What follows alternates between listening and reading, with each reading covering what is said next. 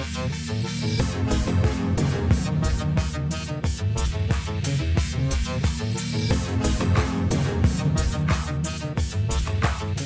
Sciforror Film Podcast.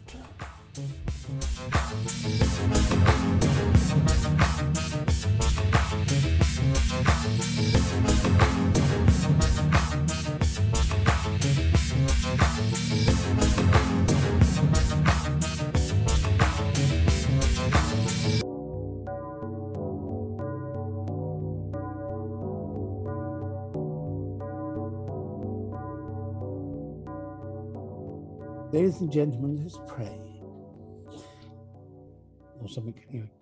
Uh, hello and welcome to the uh, Sci-Fi Film Podcast. I am, uh, and he is, and we are, and together we might be.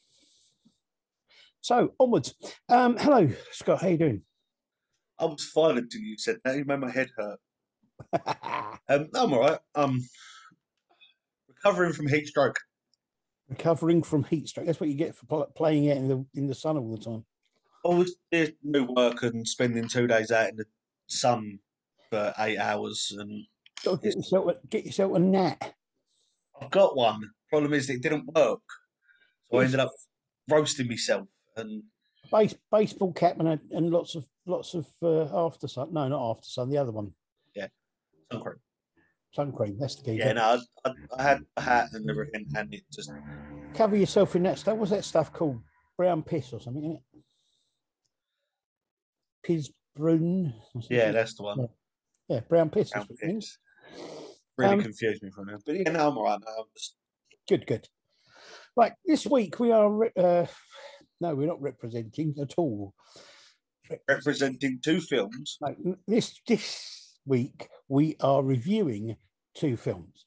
Uh, one of them is a film which is um, they, they both have connections to the uh, Romford Film Festival.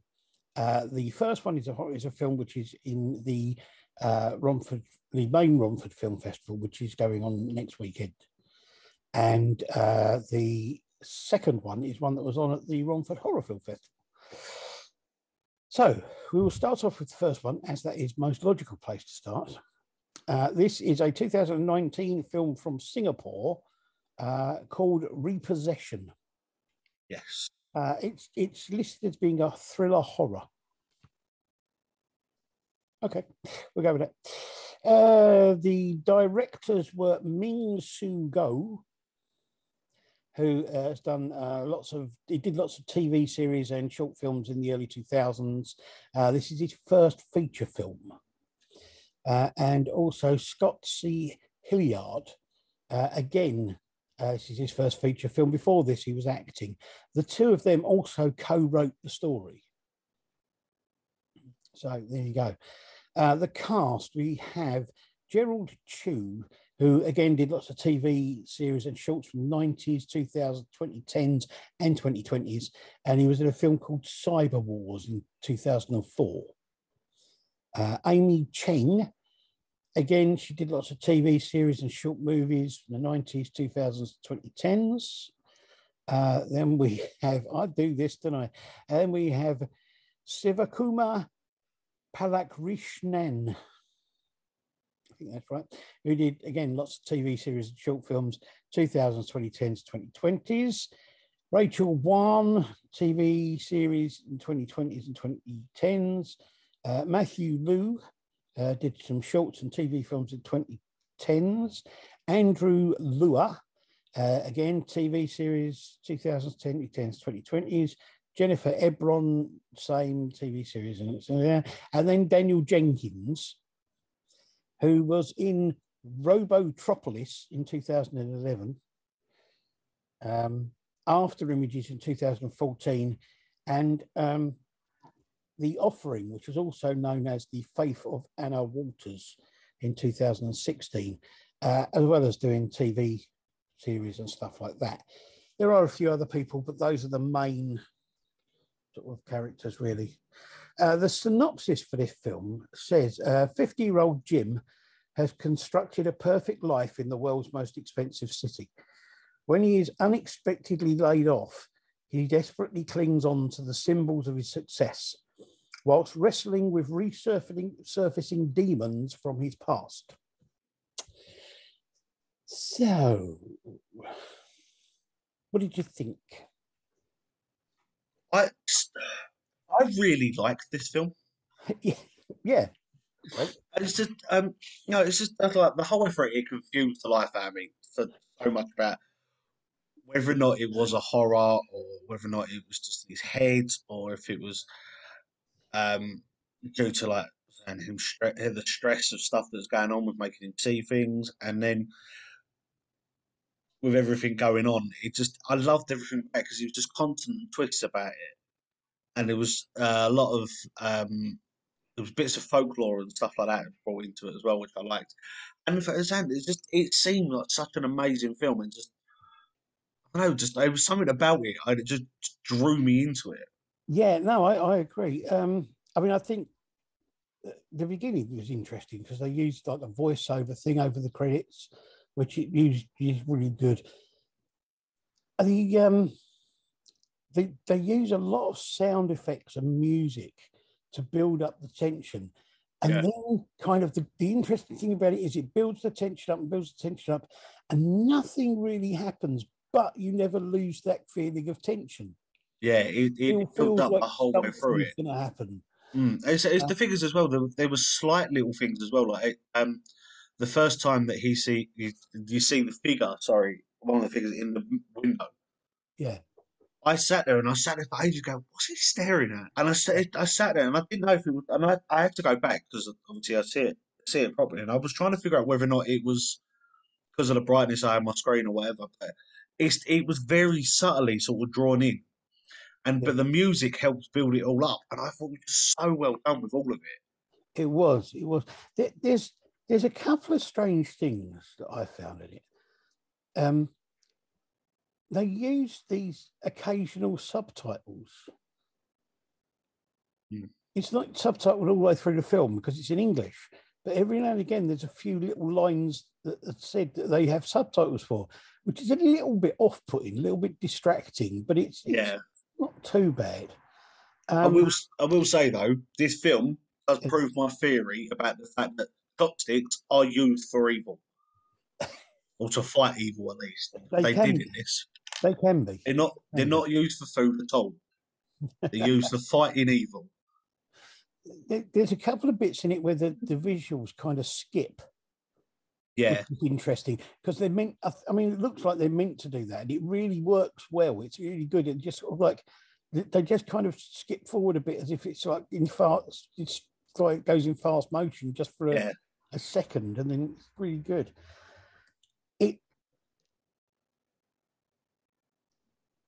It's almost like there are some bits missing from the film though, because it jumps backwards and forwards a few times. Without giving away the ending yet about it, it, when you get to the ending of it, that bit sort of makes sense Yeah, because Yeah. of the fact that what's going on. He he's the it's obviously being told through his eyes and what he re- represent him. So if he's not remembering what's going on, he's then Right. not showing. And I think that's very well done because it's right. Like I did the same thing. I thought, oh, it's just really dodgy editing, or it's meant to be like, and then it's right up to the end where he what happens at, at the end, and I was like, oh, maybe that explains the jumping bit. yeah, yeah. I did really like the uh, the exorcism scene, Yeah, which is towards the end. That that was really well done. That's that's really well put together and really well done. And I love the ending. The, the, the bit right at the end. I really like the fact that it suddenly goes silent. I, do you know what? I genuinely, I genuinely thought I managed to break my tablet. And the, the, it just, I was dead silent. I was like, oh no, I've done something. So I had to stop it and go back. And it's it is amazing because it's you sit there for ages, and the, the, for me, silence drew me in so much. And then when that music come up, or when it goes then silent, you hear the faint music. Yeah, yeah. It's so eerie. It's brilliant. I, I think it's a really, really well made film. I, I, the acting is good. I can't. I, I, I couldn't fault it for anything really. There was. No, uh, I will say though, it does. Uh, it, what I think helps with this It's the filming location. Singapore is just, pretty, it's just an amazing location. and Oh yeah. even with the, what's going on in this film, it is so well fi- like, shot throughout bits, and the, the beauty of certain shots that they do almost pulls away from the sort of darkness that's going on, and Oh, gives you that sort of different feeling about it. And I love the way it's done. Well, I, I- yeah, no, I agree. I think it's a great, excellent see, uh, scenery and all that sort of thing. Great place to film. The other thing I liked about it is the fact that it's um, it's the way it's put together, the way it's done. It there are elements of kind of very natural uh, life things going on, and and and even quite funny bits in a few places. Uh, you know, you know, it's like comedy bits and things like that. And you kind of think, well, it's really good because it's quite a deep and intense film. A little bit slow for some people, maybe, but it's quite a deep and intense film. And uh, I think I, have those other bits in as well kind of lifts it a little bit. I was saying about the slowness bit of it. I think that makes it better because of the fact it's not such a fast-paced film. It it draws you in a lot more. You get a lot more um, connection with the characters and feeling with it. and it made for me it, it drew me to sort of feeling how he was feeling with the sort of stress of Har- or di- try, I'm trying to understand how he was Yeah. stressing out through things. I mean, the only thing I would say is there's there's a kind of expectation with um, with any kind of Asian horror film. There's a kind of expectation uh, based a lot on the kind of like the, uh, the the stuff that comes from Taiwan, places like that, which is that it's it's going to be quite bloody or it's going to be quite action packed, Yeah. like that. And this isn't, but it No. works so well the way it's it's- done. It's The thing is that with the blood bits in it that are in it, it's very subtly done as well. Yeah. It's not like in your face, and it, it's it gives you like little bits just for you to know what's happened. It's not uh, part of it when uh, they're salt there and him and his uh, him the, one of his friends when they were in the, the army. What Yeah. happens there is the fact that it wasn't like he shot himself and it wasn't massive blood splatters everywhere. It was just trickled down his face, and I was like, "Wow," because that was more powerful than having blood splatter everywhere. Absolutely, yeah. No, it, it, it's it's a very well put together, very well made film. Um, Yeah. They, they, I think considering it's come from two people who, uh, for this is their first feature film that they've made, uh, that they co-wrote, co-wrote it, and, and I, I think it's quite incredible to be honest. And as far as I know, it's it's it's not been made on a huge budget either. no, So you know, it's um, it stands up really well against against a lot of other films. You know, it is, and I like I like the idea behind it as well. It's not a from what I from what I, I'm trying trying to wrap my brain through all the films I've seen from different cultures and stuff like that. It's not sort of a, a typical what like horror story. no, no, It's not like, especially when it involves certain folk folklores, and then that's normally when it's a bit more bloody and stuff like that. This is just sort of a very subtle history, um, mythology thing that happens in it, and it just happens to coincide with what's going on in this man's life. yeah, yeah. And I think the title is brilliant because of the fact that it's like sort of he loses his job. It looks like everything's going to happen when he's going to lose his home and everything. He's going to lose his car and all that sort of thing. And then you get the thing about him fighting these demons, which, let's face it, are very personal. And Yeah. Oh, that's the thing. That's what I thought. I sat there and thought. I thought, well, the ra- name of this. Oh, it is. it's going to be like him going on a spiral because he's had everything taken off him. He's had his home repossessed. Uh, he's had to sell his car, and I thought, oh, maybe this is going to be the horror bit of him. is going to be on a spiral, and yeah, like the way that it looked like he was going to take his life and everything like that. And then when the, the darkness started happening with the, the demon that started coming out, and I was like, okay, maybe that's to do with the depression side of it. You're starting to see Yeah. things. And then about t- half an hour from the ending, Yeah. when it all started going, no, we're just here to play games and you. And I was Yeah. like, oh, okay, this is the bit he meant about the repossession, not Yeah. the, having stuff taken away from him. yeah. Well, it's got that double meaning, that double double edged thing. It's uh, Yeah. kind of uh, I, don't, I know it's really weird because you've got the horror of this guy's life falling apart around him, mixed with the horror, the actual horror, if you like, of these these these, uh, these demon. I will, I I will say as well, the demon or whatever it was. I sat there for ages trying to figure out if it was an actor or if it was CGI. It, it was so well done. Oh yeah, The acting alongside with it is what made me think it was a normal actor. yeah. I, I don't. I really don't know, but I, I No. mean, it was very well done, and it, it's it's a very different looking sort of demon as well. It's not. a- Yeah, it's just know- a shadow, really. You can't Yeah. actually see anything other than this this shadow body. Yeah. It was it was really well done. I, I really applaud them. I think it was it's well worth watching. And and uh, if you go, I mean, if you're going to go to the Romford Film Festival, watch out for this film because it really is Yeah. worth a watch. It's it's it's uh, it's got everything going for it, and I I I think it will do well there, and I think it may well win a, a, an award or two. If it doesn't, uh, if they put it into anywhere else and it doesn't just at Romford, it should do somewhere. It it Yeah. deserves to. It's Definitely. such an amazing film. It is really really good. I'm really pleased that they asked us to to, to review it and to check it out. I was, a, I've got I was a bit dubious when you when you first said to me, "I'll get in touch with us," and because when you said it wasn't part of the horror film festival, and I was like, "Oh, okay," but I genuinely think that this should have been. Well, Yeah. the fact that it's part of the normal one, so a lot Well, more they- they keep- they keep a few uh, back so they can do one day of Yeah. the film festival as a horror Oh, day. I, I'm out of the ones that you told me about and the ones that I've seen from it. I'm glad they chose this one to keep for everyone to have a chance to see. Yeah, It is such an amazing film. it is really, really good. Yes. So watch out for repossession when it's uh, actually put out uh, for um, uh, release. We to find out uh, all the details for it are on IMDb if you, you want to check them out, and then they'll have on there about the details about it being released to video or Blu-ray or whatever they're going to do with it, whether it's going to go to cinema or, or straight to DVD. I don't know. Right. Our second film was actually shown at the uh, the Romford Horror Film Festival. Um, it was at that point it was called Wyvern Hill. It's been retitled uh, Hollow, uh, and it's being released. I think it has now been released in America on DVD uh, with that name. Um, and it's uh, going to be released over here a little bit later in the year.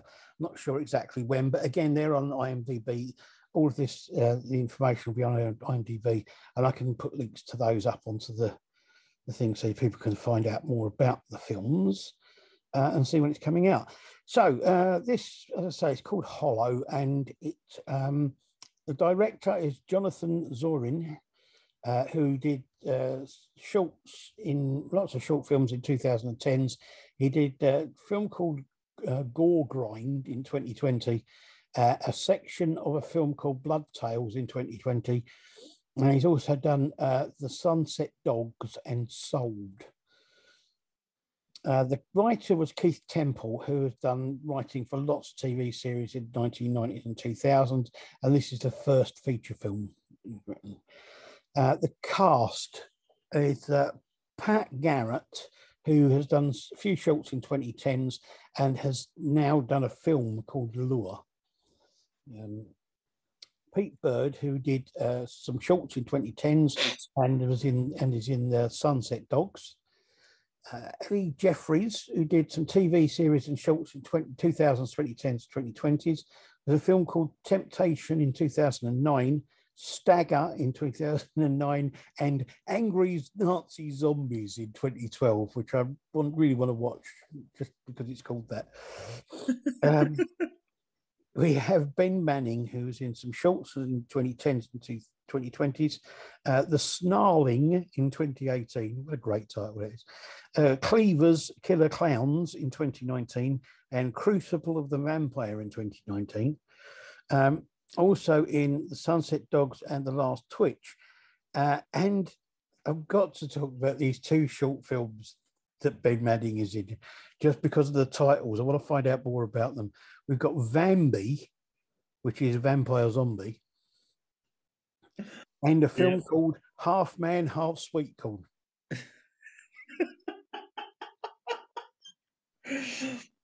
oh, I've just I've I was looking up his IMDb page as you said that, and I've just read the synopsis for that film. We need to watch it. Yes. Uh, so then we've got Michael Coombs, who was in some short films in the 2010s, was in Blood Tales in 2020 and Sunset Dogs. And uh, Pablo Raybould, who was in TV series in 2000s, 2010s, 2020s. He was in The Casebook of Eddie Brewer in 2012, Evil Bread in 2013, The Snarling in 2018, Pandemonium in 2020, The Last Twitch, and The Pocket Film of Superstitions. And he was also in Vambi and Half Man, Half Sweetcorn. Um, right. The, the synopsis for this film, Hollow, says a series of gruesome killings is shaking Herefordshire. Beth, a mother in her 60s, is showing signs of early Alzheimer's. Worried about her, her daughter Jess and son in law Connor try to find a way to help her. Together, they purchase an old house on Wyvern Hill so that she can move in with them and be looked after. However, her symptoms and slow loss of reality render Beth unable to realize that something has moved in with her, observing her every move and preparing in the darkness of Wyvern Hill. Now, I'm going to start off with a bit of a rant here. I know what this is going to be about. This should be interesting. I have seen some people doing reviews of this film who just do not get it. I don't know what they were expecting, but they seem to be, I don't know, they seem to think this film is rubbish and that they, I love this film. I absolutely love it. For me, it was the best feature film at the uh, the, the Romford Horror Film Festival. It's a brilliant depiction of somebody suffering from the early stages of Alzheimer and, and how quickly it can take a person's life over. And for me, there are times when it's like, there are times when it's almost like you're watching two or three different films because there's so much going on, but they're going on slowly. Yeah. Weird. And then they all slowly merge together. And the end section is absolutely fantastic. It, Yeah. The end segment of this film is just brilliant. I, I Mm. loved it. Whole the whole thing. It- it- as I say, it's, it's a bit slow. It's not a slasher movie. It's not your typical horror movie. It's well thought out, well written, well paced, and takes some time to get to where it's going. But when it gets there, it's really worth it. Um, I think the acting in it is brilliant, and Pat Garrett got a, uh, a, a an award for her acting at the Romford Film Festival, and I think it was so well deserved. Yes. Uh, and I, I do really do. I just think I think the film's brilliant. That's my rant over. And the thing is, I completely agree with you. It, there are bits of it that, if you're just watching it for the sake of the fact it's a horror, can be a bit confusing. Yeah. But you need to look into more into it. It's not just about that. There's stuff going on throughout the whole film that you need to pay attention to. Like, like I said, the whole the the starting for her herself and for everyone around her to start realizing that she had onset dementia, and to the fact that it tells you in a part of the film that she actually admits to it, which is so hard for a lot of people who've got it Yeah, to actually be able to admit to it and understand that that's what they're going and not. But it also shows the fact that it can it can be very very progressive, very very quickly, and it can change the person that they are within days, months. the thing I liked about this though is the fact that it's difficult to tell at times for both Yeah. for her and for us watching it Yeah, what is reality and what is just what she's imagining. that's exactly what I, I was. I, I thought as well was the fact that you sit there at one point, and because of the stuff that's going on, you sit there and it's only. I'm saying it's only until the the end really that you start realizing that it's not hundred percent in her head. Yeah, That there are things going on. Okay, yeah, the ending. It still doesn't fully explain what's going on. It doesn't explain the fact that it's definitely killers or it's definitely. It could just be the fact that it's all in her head and she's just for thinking this is what's going on. yeah. but I love the fact that it keeps you guessing until the very last minute, and it's the fact as well that the bit in it where she's trying to convince them that it's not her, not her stuff that's going on that because of the fact that they think that she's got this dementia she doesn't remember, but Yeah. she's trying so hard to prove that it's not her, and then starting to think that maybe it is herself and starting to doubt herself. Yeah, yeah. I I totally agree with you. I think that the fact that she got Best Actor in this and won the award for it, I, it's so well deserved. Absolutely. He's amazing. All the acting in this, really. Uh, Again, Yeah. Ben's, Ben's acting in this. I've seen him in other films, and it really genuinely scares me how well he plays Yeah. deranged people. Yeah, I mean, if you watch this film and you look at it and you go, okay, is it is it a perfect film? Is it a, an amazing film with amazing effects? Probably not. It's a great story, well acted, well made, and you also got to take into consideration that by by his own his own description of it, uh, Jonathan Zaurin said that this film cost probably less than they spend on a lunch for most most films. And It's- it was made, the whole thing was made during COVID, during the lockdown Yeah. of COVID. Oh, it's the thing is as well. It, that's when you put that into effect, you understand what else goes on in the in the rest of it. It's why there's not like, big crowds in certain bits, and why if you look at like when they're in the park, why they're they're still yeah, there's still people there, they're spread out a bit further. Yeah, It's still there, and it's still the angles of certain shots, the way they've done. I think is Yeah. so uh, well done for what they like. You said what they spent on it. I, I think for for a an independent film on a micro budget at a time when we've got a global pandemic and everyone's in lockdown, this film is absolutely incredible. Um, Okay. what I like about this is the fact that it wasn't like like you said, the blood and guts in it, and there wasn't that in it. There were there were, there were some bloody bits in it, but it wasn't like thrown in your face and stuff like that. It was a it was yeah a more psychological horror, I would say. Yeah. But the bits that were in it were so well done as well. I will say I love and I want to fi- want a copy of it just purely to put on my wall. But I want a copy of that mask. Yeah. The Mr. Punch mask that he wears, I want a copy of it. It is good, I must admit. Admit it, I I've played a bit of this to Amy, and I do I do quite a good impression of Mr. Punch, and I always have done. Amy's now told me that I am never banned from doing it because I'm not because of the fact that she see a picture of the doll that they made, she went, "No, you can't do it anymore because that's all the stuff I'm going to think of." But I love the whole bit about this. Everything mm. about this is so well done, and so and and there's the bits, the the the filming and the angles they had of, the, of um when she walked over the bit of glass. yeah, I I sat there and I, I could feel myself tensing up when she was getting close to it. And I was like, "Oh, this is gonna hurt," because I've been there. I know what that feels like. Yeah. And then when she finally does it, I was like, "Oh, I could feel my stomach turn." Because of the tension build up of it and the Yeah, sort of yeah. close calls of it, I was like, "Oh, this is gonna hurt," And and it's, it's just amazing. it is it's it's a subtle film. If you're expected to be punched in the face with your horror, it's never going to happen. But it's a well-made, subtle film that's Yeah. just got it's got everything going for it, and I really don't understand why some people are rubbishing it in their reviews, and, and I don't know what they were expecting from it.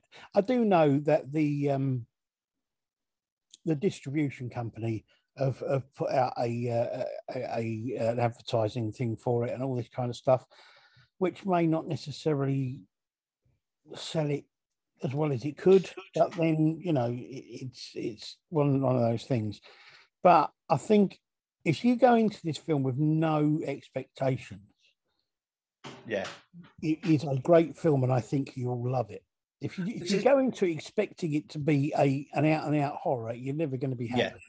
If you go, yeah, I would say I, I agree. If you go into this film wanting or expecting to see blood and guts everywhere and slash and stuff like that, you are you you you're going to be disappointed. Yeah. But if you go in to watch it with an open mind and actually pay attention to what's going on, you will love this film. Absolutely. I And- agree. I, I agree. I don't understand. I, I get the fact that yeah, there's certain people out there that probably weren't expecting it to be the way it was, but they need to go back and rewatch it because there's obviously they obviously didn't get the whole meaning behind the film, and Mm. it's just it's such a great film. It is a great film. I'd love it. And, and I've got I would never no problem watching it. Well, I had no problem watching it again. No, I, oh, this is the, this is the bit. Is I, this is my first time watching it. You got to watch it during the film festival, and I, I sat there when you said to me we're going to do this. I was like, "Well, this is going to be a bit weird for you because you've you've already done it and you know what's going to happen." But I sat there and I, I, like, you told me what had happened, what how the film was, and I went into this film obviously knowing what you said, but I still sat there and I was so in awe of what was going on because it's Absolutely. just such a great film. Again, the location helps so Oh, much, yeah. and it as much as I love, or not, I don't love where I live, but I I grew up around here. But Yeah. the countryside that it is filmed in, it just does it so much justice. Absolutely. It, it, it's a really it, the, the the countryside scenes and the, and the the buildings that they go to and that's Yeah. it's just so really the well done. church they go to, and even the cottage that they're in, Yeah. is just so amazing. And I'm saying, I it's it's very very good the way that, that they do it. And the fact that it's like literally the last minute, or last sort well, last ten minutes, everything sort of wraps itself up. Yeah. It doesn't fully explain itself because of the fact that the way that she sort of goes off Yeah. is whether or not she still remember if this is actually what's going on or if this is Yeah, I think it's uh, part of you know, it's one and a half dozen the other. It's partly yeah going on in the head and partly what's going on in real life. But and that's the thing about it is it, for me, it's the kind of the matching of the it's a they're a bit similar, these two films. Because it's like with the first one, it's the matching of the horror of having your life falling apart with the, the demon. In this one, it's matching of the horror of, of um, your mind falling apart and the horror of the, the murderers who, who are kind of like picking on these people Well- in the countryside. So it's kind of like this dual aspect of horror. The, the, the bit that I loved about it as well is, and it was um, Ben's character, the Mm. line he gives where he they actually say that they they were watching and listening, and it, when she says when she sits in the bar and says about the fact that she thinks she's got onset dementia, that's what made them. And I was like, the fact that there are it's again as much as it's a, a horror film, there are people out there that do that, that target people Yeah, they they know that they're suffering and will target them and make them feel this way. yeah, yeah. And the fact that is the same true to life stuff that goes on, but yet it's still such a great film. Yeah. Well, I think that's the thing is it, because so much of it is based in what we know to be reality, you know, and and, and in both films, you know, it- it- there's so much of it that's based in real life situations. Yeah. uh, which in themselves are horrific enough, and then the horror on the actual horror on top of that is just it just so well done. I think both of these films are definitely worth watching and I really want to see more of what these people put together and what they do Yeah. with the future. I'm I'm really looking forward to seeing. it. I'm hoping that they do both of these people do a lot more stuff in the future. Absolutely. Yeah, yeah. I can't wait to see what they do. Well, yes, I agree. So there you go. Um, Hollow will be available in North America, um, is available in North America on DVD at the moment. Uh, again, as I say, I'll put up the link to IMDb and you can find out full details there. Uh, it will be released in the UK later in the year. Not sure about repossession at the moment. It's still doing the uh, the rounds of uh, film festivals, but hopefully uh, that will be available as well at some point. Uh, two great films, really worth watching. Um, so there you go. Thank you very much, Scott. It's okay. Thank you for having me. Well, I didn't. Mummy did. Don't start this again. Uh, so yes, uh, go out and watch these films, or else I will come round and sit on you, or something. Anyway, enough of this. Thank you very much, and uh, we will see you again with more of the same sort of type of thing Well, next. I was to say, yeah, more of the same sort of thing. We won't be doing the same films over and over again because that'd be No, no, no. Same sort of thing, though, talking about films and stuff. Yes. Uh, so we will see you next time that you see us. To be honest, they won't. We won't see them, but we will know. Ah, ah, We won't see them, ah. but we will know who they are. ah, but will we? Ah. What? it confused me then. No, will we? Will we see them? We might. We Okay. might be able to hack their cameras. Who can tell? All right. Then. Anyway, bye. Bye.